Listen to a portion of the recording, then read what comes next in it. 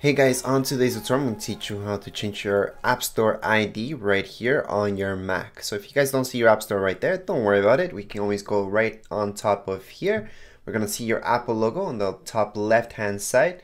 Then we're going to see App Store. So let's open that up first of all. So once we have our Apple Store open right here, we're going to go on the top and we're going to see Store.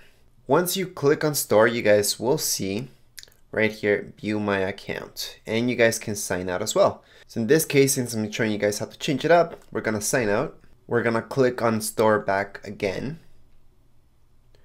And right now you guys will see sign in. So right here, it says sign in. So just click on sign in. Once you guys click on sign in, you guys will see this app ID. This is the point where you guys can change it up and can put anything right here for your app store. All right, so just make sure you guys know the password, you guys obviously need that. If you guys just bought this Mac and you're just changing that ID for the App Store, bad idea. Don't just change it up for this. You need to change it up for the entire computer.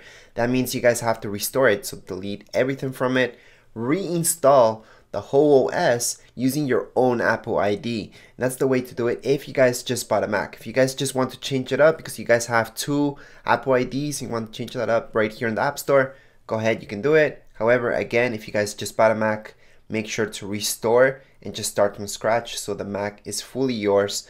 So if you guys watch my channel right now and you guys can watch this right here, if you guys just got a Mac, this is what you guys have to do. You guys have to wipe and factory reset. So again, if you guys go to my channel, it's one of my latest videos. You guys can check it out. Anyways, that's it for this video tutorial. If you guys have any questions, comments, you guys can write them down in the comments area. Don't forget to subscribe and rate. Thank you.